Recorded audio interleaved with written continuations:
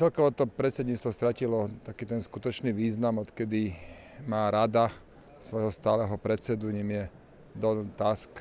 Je to skôr taký, taký marketing pre tie krajiny, aby sa prezentovali, drahý marketing.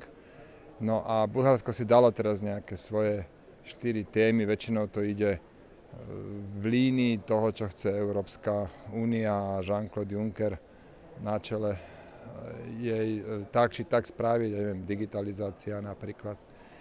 No, tam, kde Bulharsko by naozaj mohlo byť prínosom, to je tá situácia krajín na západnom Balkáne, ochrana hraníc, aj keď Bulharsko, Bulharsko nie je v Schengene, ale predsa len susedí s Tureckom, čiže tam by mohlo hrať nejakú väčšiu rolu, ale inak neočakávam žiaden veľký prínos od predsedníctva, či už Bulharska alebo iných krajín.